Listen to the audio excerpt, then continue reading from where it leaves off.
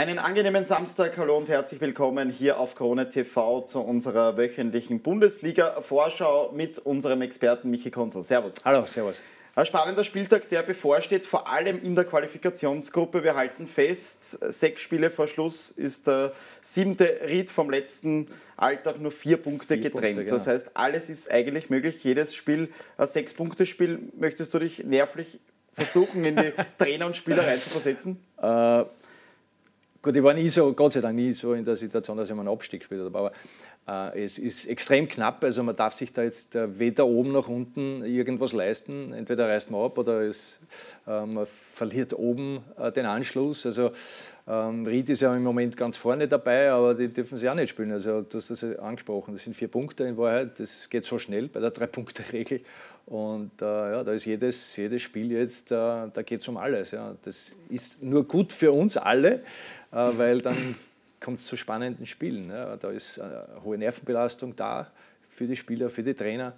Aber ja, da sieht man dann, wer ist dem Ganzen gewachsen und äh, wer macht dann unter Druck Fehler, äh, wer kann sich steigern. Das ist immer für mich so interessant, welcher, welcher Typus kann dann letztendlich über sich hinauswachsen. Hm, die Hartberger haben unter Klaus Schmidt äh, ganz gute Ergebnisse eingeholt. Dreimal ein 0 zu 0, einmal 0 zu 1 verloren. Auf der anderen Seite die Admira, die auswärts zu Gast sind, als einziges Team in der Qualifikationsrunde noch ungeschlagen.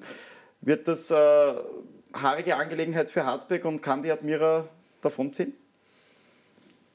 Hartberg aus meiner Sicht, äh, sie, sie bringen nicht das am Platz, was sie schon gezeigt haben und was sie ausgemacht haben äh, und was sie können.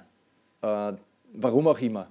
Äh, das kann sich natürlich noch drehen, weil ja die Qualität, weil sie es ja schon mal gezeigt haben, weil die Qualität ja da ist. Also es wird, äh, wird, wird, wird nicht einfach. Ja. Die Admira ist auf keinem schlechten Weg, aber das ist auch so ein bisschen auf und ab. Einmal denkt man sich, ja, jetzt haben sie es, jetzt könnten sie da durchstarten und dann kriegen sie wieder, also durchstarten in dem Sinn, dass ich meine, sie können oben andocken äh, in der oberen Hälfte, also ganz, ganz oben andocken. Und, und dann, dann verlieren sie oder, oder spielen dann Spiele unentschieden, die du normal gewinnen hast. Ja. Also sie bringen es nicht drüber, sie bringen den Dreier nicht ganz drüber, nicht immer. Und, und deswegen glaube ich, es wird eine absolute Tagesverfassung. Ja. Wer, wer da den besseren Tag hat und, und auch vom Spielverlauf, wer mehr Glück hat, das ist ein ausgeglichenes Spiel aus meiner Sicht. Mhm. Der SV Ried hingegen... Oder wird ein ausgeglichenes Spiel. Ja. Der SV Ried hingegen scheint Favorit zu sein im Heimspiel gegen die WSG aus Tirol. Zumindest das letzte Heimspiel gegen den LASK hat gezeigt, dass sie heimstark sind. Können Sie das deiner Meinung nach bestätigen und somit den siebten Platz festhalten? Oder wie siehst du gerade die Elf von Thomas Silberberger, die auch für Überraschungen immer wieder gut ist? Ja, das ist, das ist da wahrscheinlich am ärgsten im Moment. Ja, da gibt es ein extremes Auf und Ab da, da kann man gar nicht so einschätzen, äh, wo kann man sie oder wo ordnet man sie ein. Ja?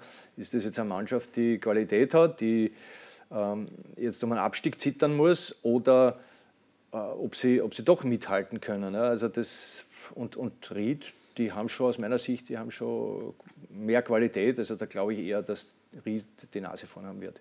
Also die Innviertler klar favorisiert. Das letzte Duell in der Qualifikationsgruppe verspricht auch einiges, denn die Altacher sind wieder erwacht.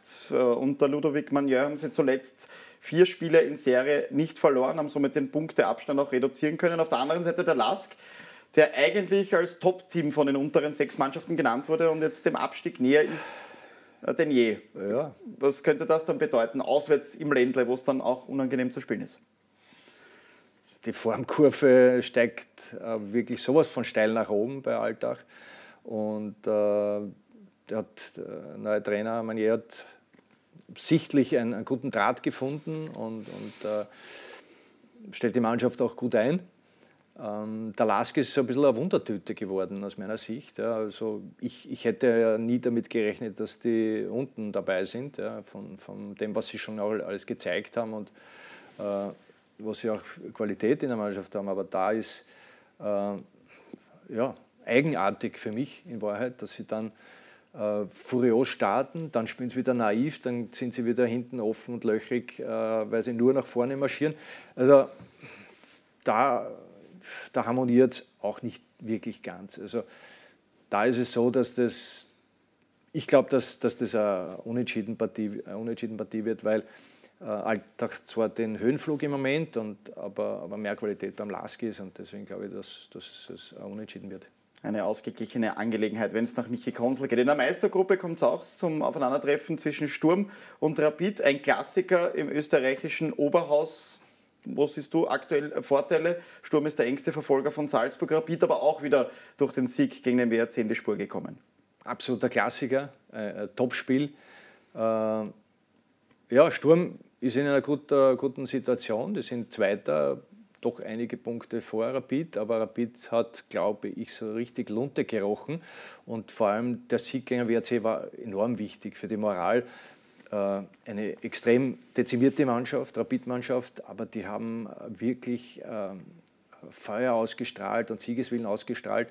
War nicht alles gut. Ich war im Stadion, haben wir das angeschaut, also es war teilweise sehr glücklich, aber, aber man hat um diesen Sieg gefeitet, gekämpft. Die jungen Spieler, die reingekommen sind, die haben Rapid-Mentalität gezeigt. Das hat mir echt gut mhm. gefallen und es ist auch gut rübergekommen beim Publikum ähm, und, und war extrem wichtig. Ja? Also die drei Punkte waren extrem wichtig, dass man äh, vorne dabei bleibt. Ja? Und, und äh, ja, mit diesem Selbstvertrauen, ich weiß jetzt nicht, wer aller zurückkommen kann. Es war ja da ziemlich, ziemlich viele Corona-Fälle, viele Ausfälle.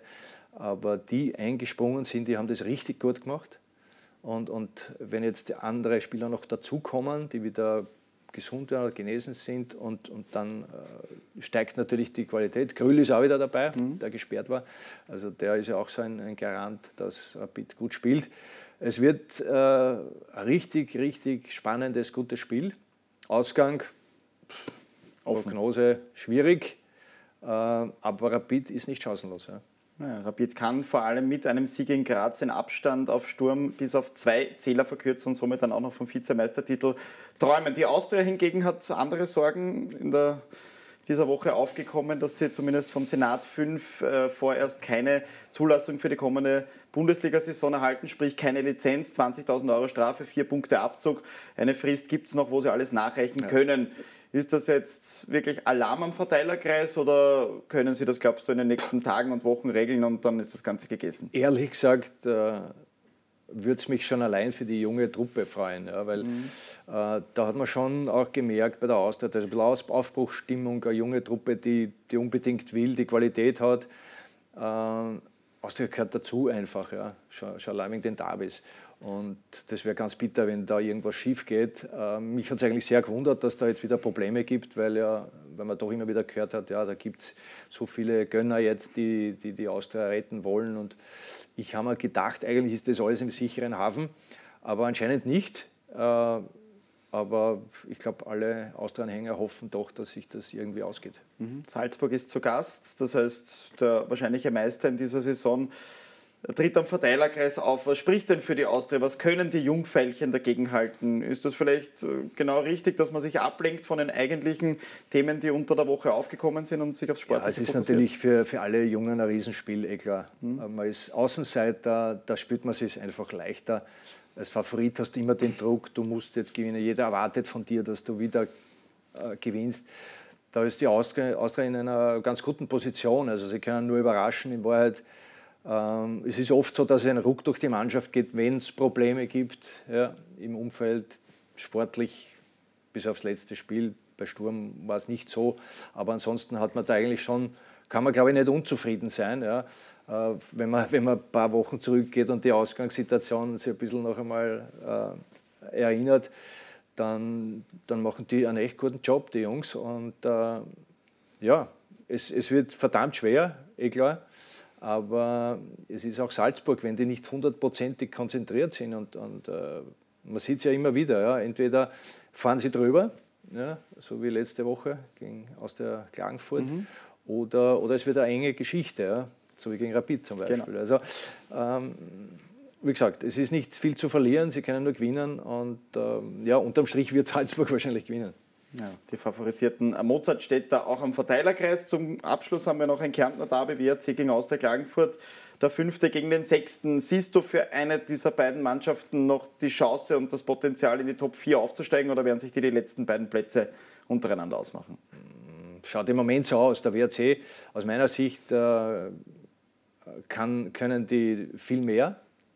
Gegen Rapid haben sie ein ordentliches Spiel gezeigt, nur waren sie im Abschluss teilweise, ähm, ja, es war Unvermögen dabei, muss ich fast sagen, weil das waren wirklich Großchancen. Die hat man leichtfertig vergeben und dann wird es natürlich schwer. Und sie sind ein bisschen so in einer, einem Fahrwasser drinnen. Äh, ja, sie haben schon bessere Zeiten gesehen in Wahrheit. Ich glaube trotzdem, dass sie mehr Qualität wie Austria Klagenfurt hat. Und äh, ja, Derby hat zwar auch, auch dort, auch in Kärnten eigene Gesetze, aber da glaube ich doch, dass der WRC die bessere Mannschaft ist und äh, die müssen auch irgendwann einmal wieder schauen, dass sie auf die Sriegestraße kommen. Ja, das ist, sie werden aus meiner Sicht aus, unter ihren Wert geschlagen im Moment. Die können mehr, äh, es, es, da, da hakt es ein bisschen. Mhm. Vor allem nach vier Niederlagen in Folge, ja. muss man sagen. Michi, besten Dank für deine Einschätzungen. Gerne. Das heißt, es bleibt Ihnen übrig, welche Spiele Sie sich im Krone.at Live-Ticker auch ansehen werden. Das Spitzenspiel ist Sturm gegen Rapid. Wir wünschen viel Spaß. Spieltag Nummer 27 und hören uns dann wieder in ein paar Wochen. Ciao. Boom, boom, boom,